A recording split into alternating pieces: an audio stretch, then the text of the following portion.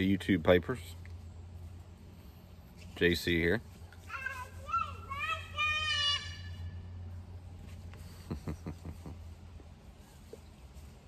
Daughter's out here running around. Catching a smoke in between the storms. Um, it's been raining here all morning and uh, had some tornado, not a warning, but um, a watch earlier. We just got a little bit of wind coming through us all in my house anyways, but uh, around the area, pretty bad storms. But um, yeah, smoking some one of my favorites actually. Got a lot of favorites, I know, but yeah. But definitely from, I mean, here to the future, I will try a couple things here and there, but I'm mainly just focusing on stocking up on my favorites. So this is one that, uh, see how humid it is out here. The jar is already starting to kind of get some weird stuff on it. So Dan Tobacco Salty Dogs. Um, actually, I just first time I had this stuff was uh, either late last year or early this year, but I liked it so much I ordered more of it. So um, worked out pretty good because I'm already I've already smoked through. As you can see, well maybe you can.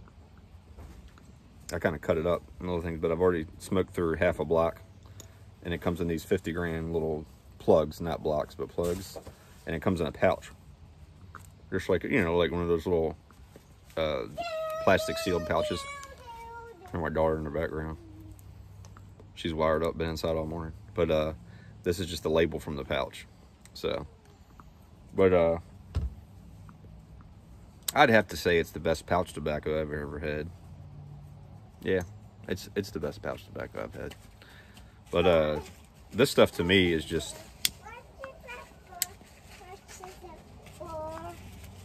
it's very very rich for a VaPer. Um, the description, they got some guys on the front that look like they're on a you know maybe buck some buccaneers or something that pirates per se or on the boat. Um, and I can see people smoking this back in the day because it's just a rich plug tobacco. Um, it's got just enough sweetness to it. Um, it's got like a brown sugar type of molassesy definitely flavor to me.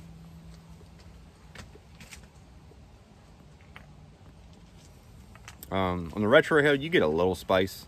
It's not a lot of spice. I guess I didn't describe it, did I? It just says Navy style plug. I didn't even look up what it was. I just know it's really good. I think it's just like a VaPer plug because it definitely, you know, tastes like it's got a little bit of perique in there. But the Virginias and the way they, I guess they steam the plug, I guess, or something, hot press it. What it seems like, anyways. But it's got a little bit of tanginess to it. Like I said, a little bit of sweetness, um, a little bit of sourness in there too for some reason. It's like sweet, tangy, sour.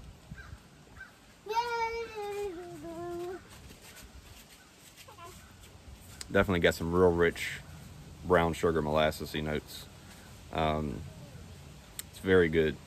To me, this is very rich. Like this is one of those ones where, you know, I kind I kind of like smoking an after meal. It's not too too strong, um, but it's definitely, you know, got some strength it. It's definitely medium plus, so it's over medium strength in my opinion. It's definitely over medium in body.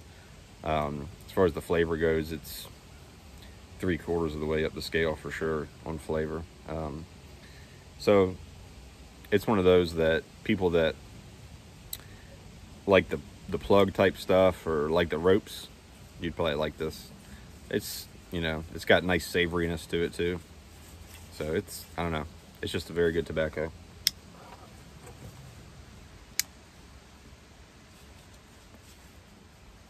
It's definitely something I reach for when I'm in the mood for just something satisfying, you know, that's just rich. But yeah, you can see it's the wind's starting to pick up a little bit out here too. So.